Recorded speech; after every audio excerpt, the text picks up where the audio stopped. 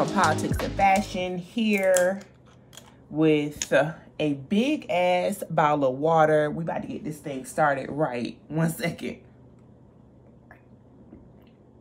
If you know anything from Vlogmas, then you know that I am trying to kickstart some wellness habits despite the bender that I was on in Miami over the weekend, but that's okay.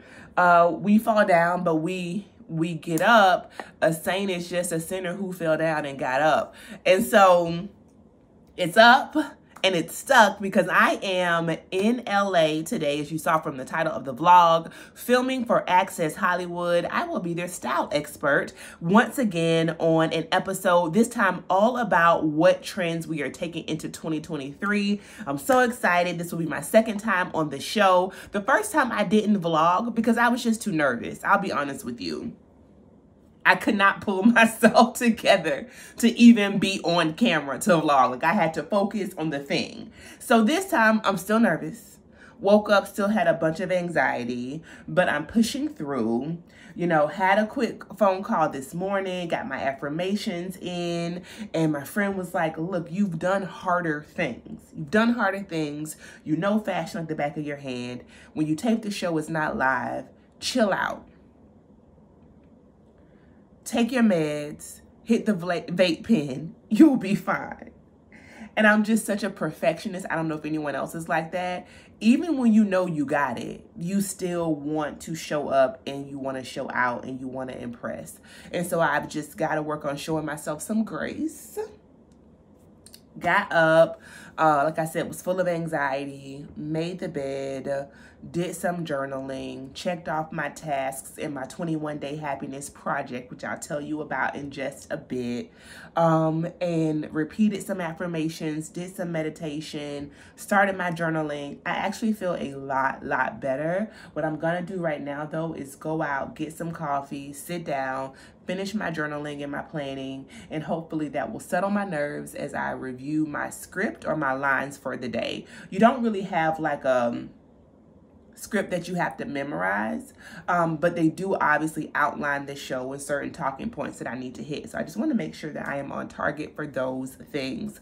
Uh, it is 8.17, much later for me, obviously, because I'm still on East Coast time, but I got in last night so late, y'all. Like, I just slept. I. I had a call. I, I didn't even make it um, because I arrived at like 5 a.m. my time. So it's actually surprising um, that I did sleep for a little bit longer, but alas, we are up. Um, like I said, I'm going to go and get some coffee, do my thing. And then when I come back, before I go to the show, I'll tell you all about the 21 Day Happiness Project. If you were not hip, it is a project and a toolkit that I started while healing from surgery. And January 9th through 30th is our 21 Day Project. And so you are watching this right in the middle of it. And I want to tell you all about it. Let's go grab some coffee, though. I am in desperate need for caffeine. I love that the Airbnb has a full length mirror, so I'll show you my OOTD really quickly, do a tour when I get back of the Airbnb. Uh, but I am wearing my Fendi Sunnies black cashmere sweater that came from Bloomingdale's. The necklace is Knature the Label, a black owned brand. Bottega Moto jacket. It is cropped. I have the sweater tucked halfway. Uh, I am wearing my Margiela MM6 jeans. On my feet are my Jordans bag is the Bottega, um, this is not a Bottega. The bag is a Loewe a puzzle bag. And let me just say this bag is so great to travel with because I put it inside of my travel like personal item. And so that way I kind of sneak two personal items in on the trip. But this is the look for coffee. It's probably pretty dark in here. Let's get out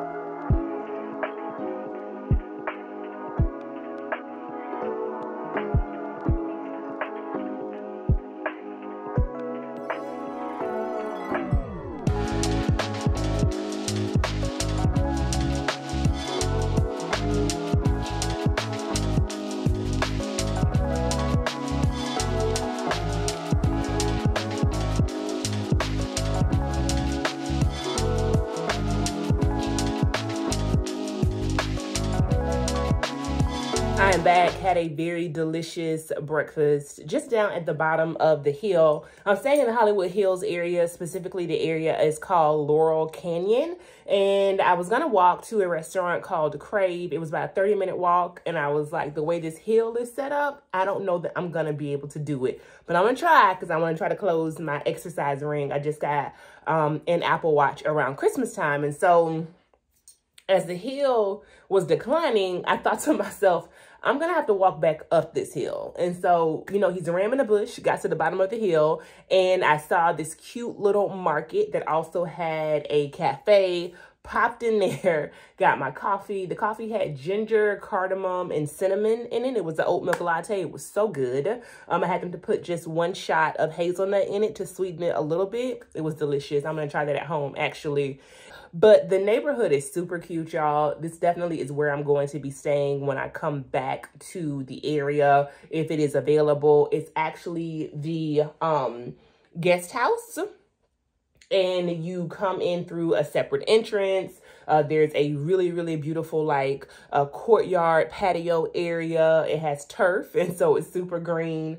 Um, some very beautiful tiled stairs up the right hand side. They have a picnic table out here as well as two lawn chairs. So just a really great place to just lounge. It's supposed to rain like a hundred percent chance of rain tomorrow. So after the show today, if I can, I want to sit out there and just read a little bit, probably drink a little bit of wine. Uh, when you come inside, you have a, looks to be about a full size bed. Uh, the area is white, minimal, super clean, and just a nice chic aesthetic. There's a desk here, which I love. I'm going to pop up my computer now and do a little bit of work. They have a Keurig machine, also a fridge. Open the fridge, and I had a bottle of water, um, a Coke, sparkling water, as well as two like alcoholic beverages, which I was like, oh, that's very sweet and thoughtful. Uh, and then we have like a little small rack to hang your clothes, which I've done, um, and put some other pieces on. The bathroom is a great size. And what I love is that there is a full size mirror. I cannot tell you the number of hotels and Airbnbs I've stayed at over the past year that have not had a full size mirror. And I'm like, this is savagery. I don't, like, you're basically saying you want me dead if, if there's no full size mirror in the in the in the accommodations. Um and so that's been great. And now it is 1021 i am gonna leave here probably at noon on the dot uh, call my uber and then head over to universal studios which is where access hollywood is filmed. And so i will take you with me obviously but what i think is so dope is that i don't think i ever realized that universal studios was actually a place. I'm from florida and so i thought it was just a theme park and the last time when I got there, I was like, oh. Uh, so that's dope. Um, and uh, yeah, it is a real like set, a real life set. And it is just mind blowing to think that I'm going to be able to be there again today. Let me get a little bit of work done and then we are off to Access Hollywood.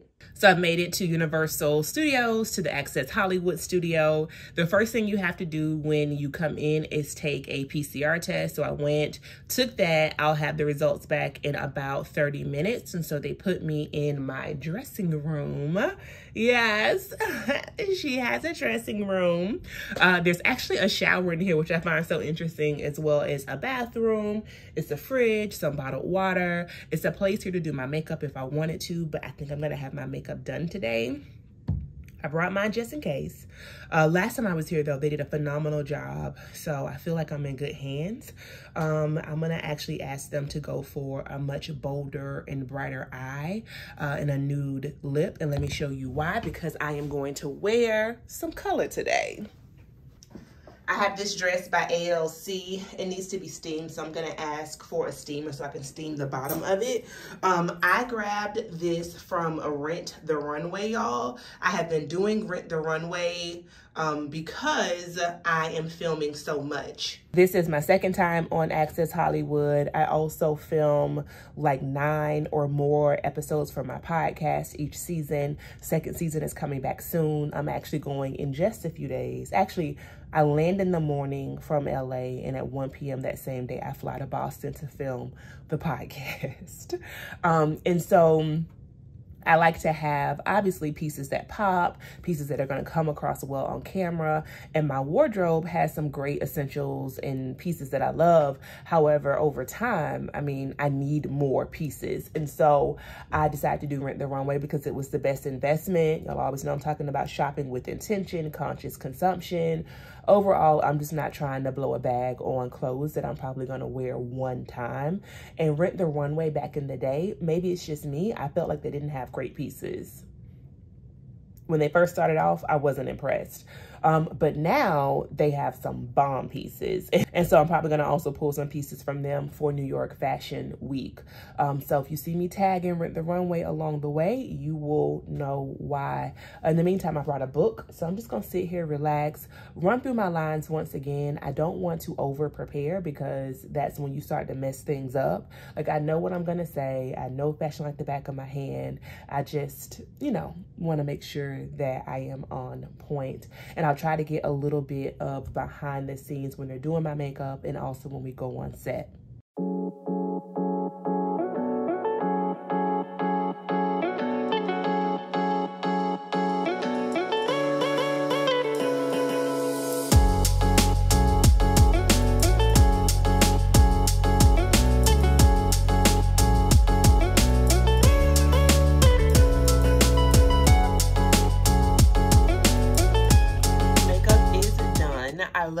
Natural it looks. I think the lip is perfect.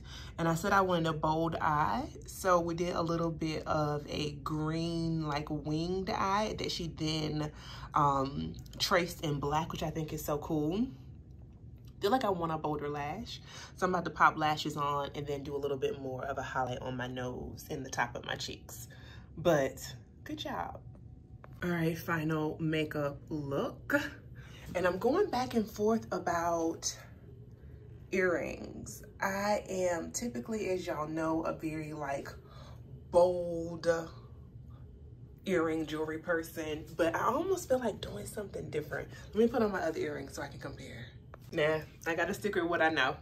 I gotta go for the drop earrings, all right? Especially because I feel like the dress, the color is bold, but I'm not really heavily accessorized anywhere else. So we gotta go for bold earrings. I am going to just chill out in my fitting room until they call me for the show. Girl, the level of ash that has taken over my legs. I cannot believe I have come to these people's show and don't have a nail bit of lotion. Girl, do you see this?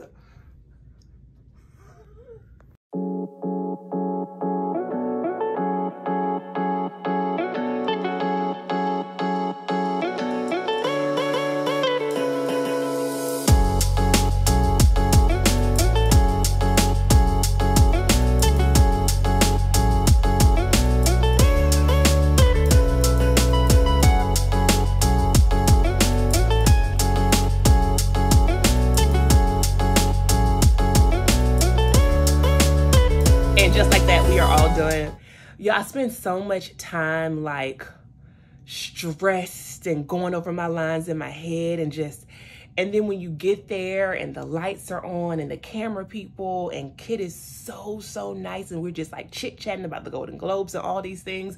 And then I'm like, this is what I was born to do.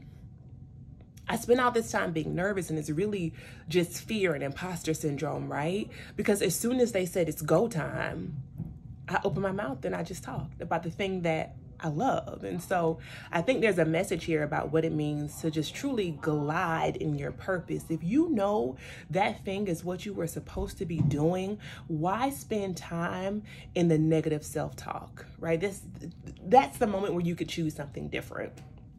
So just gotta choose something different. Um, Kit is so teeny tiny. I will pop up a picture here. I cannot believe how small she is compared to me. I'm literally a whole foot taller than her. But the entire show was amazing. It was a lot of fun. The mannequins came together. I styled the mannequins. I pick all the clothes. The producer orders them. And I felt like things really, really came together for the trends that we talked about taking into the new year. So I'm going to change my clothes. I'm going to go and get me something good to eat maybe get my nails done, maybe shop. I don't know. Let's just float around the city. And tomorrow I don't leave until late tonight. So we got some time to spend in LA together. Let's go get it. Black man, yeah, uh. Black man, black man, yeah, uh. What's up? Black, black, black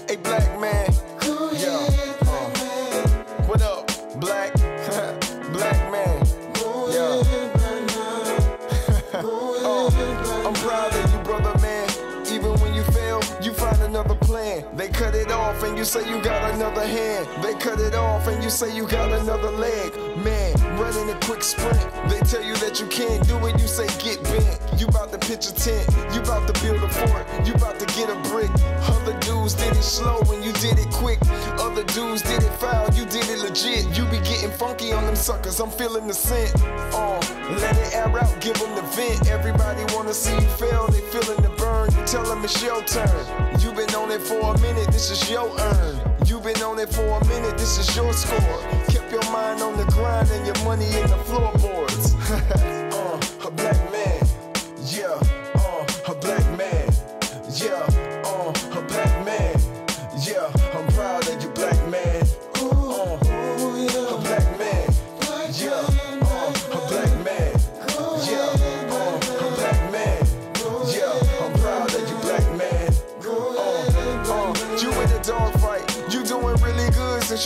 all night. Black man, I see you in a tight space, and they wonder why you always got a straight face. Black man, I see you with the gold grill, big chains, big rims on the old whip that is so ill. Go ahead, black man, I wanna see you win with that ill black tan. My brother, my keeper, this is for my people. I ain't got an ego, my G, cause I see you. Listen and believe me, my G, hey, we need you to feed all the people the knowledge that they seeking.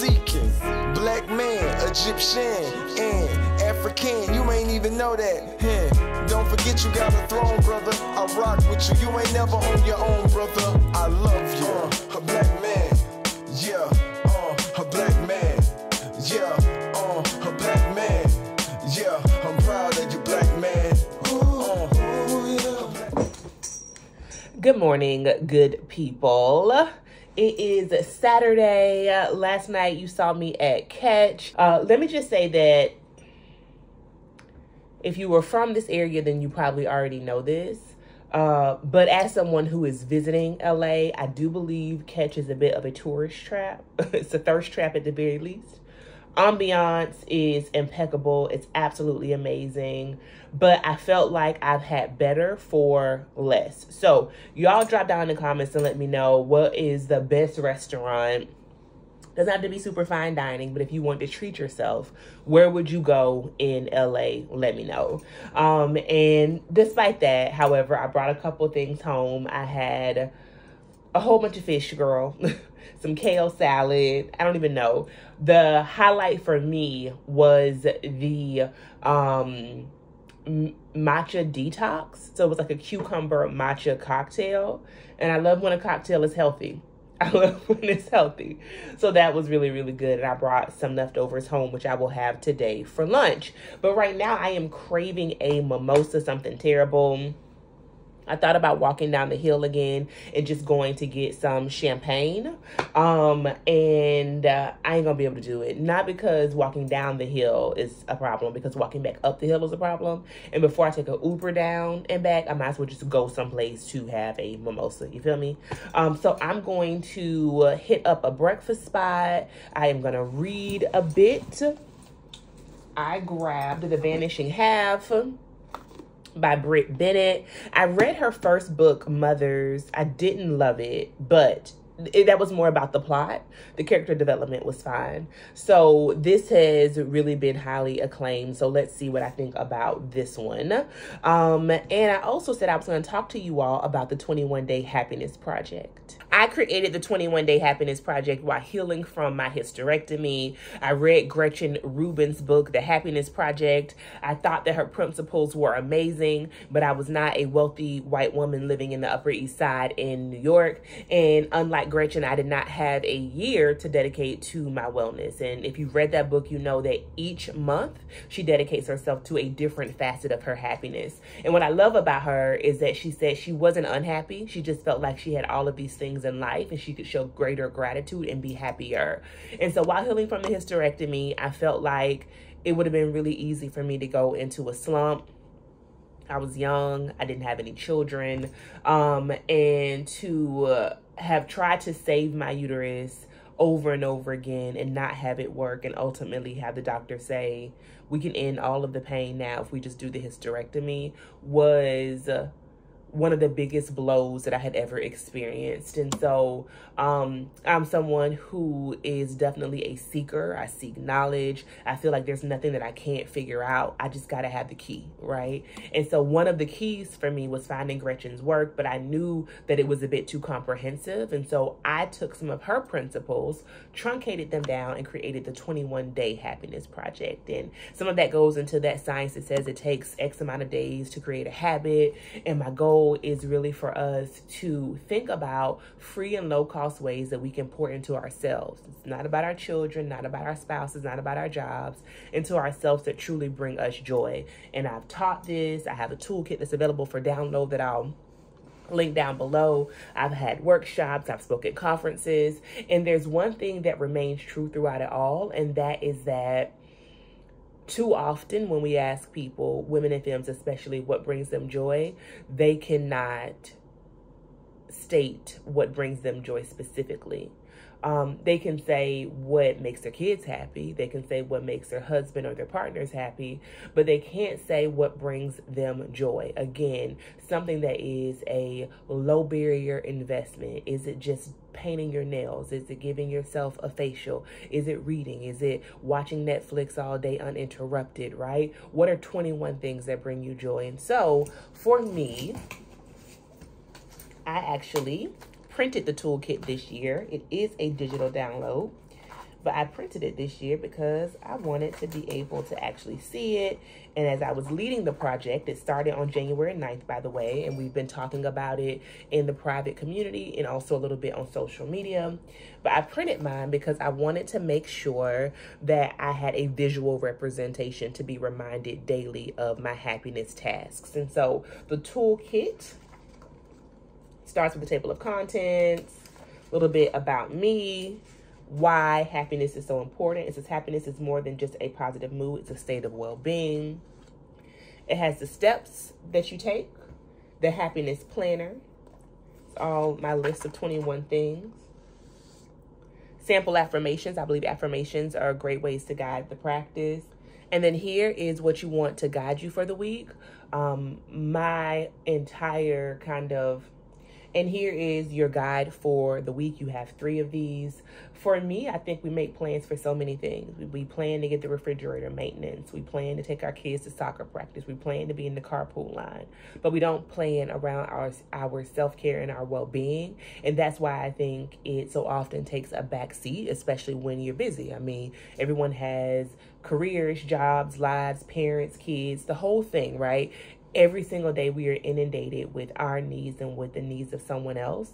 But what about those small things that really can pay great dividends in the future? And so planning for that, I think, is so, so important. And so I have my affirmation, which is rest is my right for the week. My goal was good sleep hygiene and a good morning routine. My happiness to do list was to travel, read a new book, facial, eat good food, create new outfits, have some alone time, and to film Access Hollywood, which I did. And I've done actually everything on this list already, except reading my book, which I'm going to do today during breakfast. And then the toolkit goes on. It has a bit of an audit for you after the first week. We have some journal prompts here just to be able to sit in reflection each week or at the end of the project. And that is it. We're using hashtag 21 days to joy. So feel free to jump into the conversation. If you join the Politics and Fashion Tribe, you get the toolkit for free. No, it is not too late to join. And if you don't want to join the Politics and Fashion Tribe, which is 15 bucks a month, then you can always go over to my shop and you can download the toolkit for $21. It comes straight to your email. And again, you can print it if you would like. Even if you do not do the project with us in concert with the tribe as we're doing it, I highly recommend this as a way for you just to kickstart your 2023. All right, so let's get out of here. Let me show you what I am wearing today. Yesterday, you would have saw me down at the Real Real. I love that place. I love that place. And I swear to y'all, the one out here, Melrose, hands down the best I've ever been to. So uh, she's Pressiana. Thirsty. Okay, so let me show you what I got. I grabbed this Dior kimono. I feel like I'm not doing it justice today, so I'm actually not going to wear it, but I was pressed to at least slip it on, okay? Uh, I have looked for this to see which runway show it came from. I cannot find it. I started back in 2018, so maybe it's before that, but get into uh, just the fabric. Oh my gosh. It is made from majority silk and just the weaving on this is fantastic. It is black with yellow, orange, and blue, as you can see. The best part of it is the back of it, though, to be honest with you. I don't even know how to show it to you, but the back is completely, like, split. Oh my god it's so good. It's going to be so good belted too. The only belt i have is my hermes belt and this one is brown and so i feel like i couldn't really put that on top of this to really give it a look. But when i belt it it kind of sits out. Oh, God, it's so good. And it's super duper warm too. Y'all know I love me a good old third layer. For me, these are the kind of pieces that really help to like make your basics pop. And so when I saw this, I had to have it. This thing originally, y'all, was $4,000 US and there was no way I was going to do that or I would have ever done it. Uh, and then when I got to the Real Real, it still had the tag on it and it was for $900. And I was like, okay, investment, but it's a piece I'll have forever. Bruh, bruh scanned that thing and he was like, well, actually, it's on sale 25% off. So then it goes down to 600 And he was like, give me a new email address and I'll give you an extra $25 off. I said, sir, take this card. You ain't got to convince me that's the look uh, wearing the Margiela jeans again just because it's like 60 degrees outside um, and so I wish I would have brought like a pair of sweatpants but I didn't so we are wearing the jeans again today I'm actually probably gonna slip on my um, moto jacket on top of this. It's just an Aritzia bandeau top and then put back on my Jordans and then head out to brunch, breakfast. We'll see what I get into.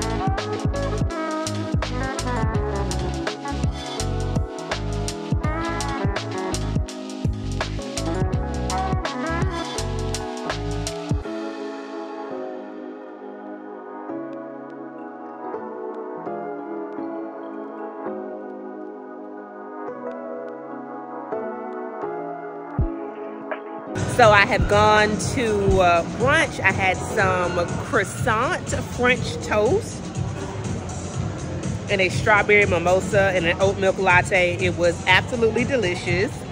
I'm now looking at this restaurant advertised here that I might slip into for lunch. But I don't know, I have food back at the Airbnb, so we'll see.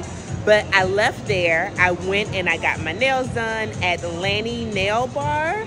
I put the name on the screen, so you would have seen the location on Sunset. Super cute, young, vibrant, hip staff. And so when I saw that, I was like, let me try a little bit of a design. I don't know if you can see it because I typically go nude on my nails, but I got like a design in a darker nude. Anyway, I decided to hop over at to the Staples Center because it's raining and it's not a whole lot to do. It's either shopping or a museum. We decided to do a little bit more shopping. So they have a Webster here and I really want to go there. The only other one I know of is in New York. I mean, in Miami. And then on my way here, I saw that there is a Dries Van Noten right down the road. I wish it wasn't raining because I could just walk there, but I'll probably hop in an Uber. Nevertheless, let's do a spin around the Staples Center. Maybe we'll stop and get a cocktail or a little appetizer. We'll head to Dries and then back to the Airbnb. Let's go.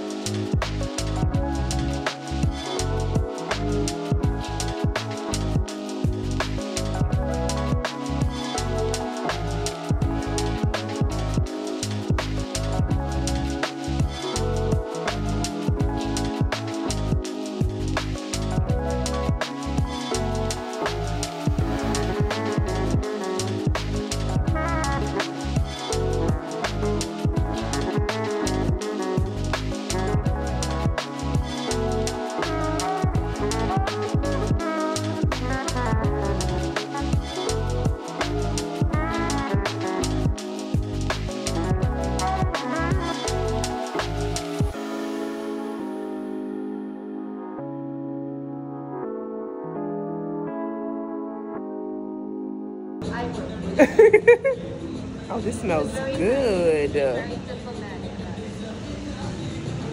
I've never smelled this before. This uh, MFK Satin Mood. Oh, this smells good. The Loewe. Doing a whole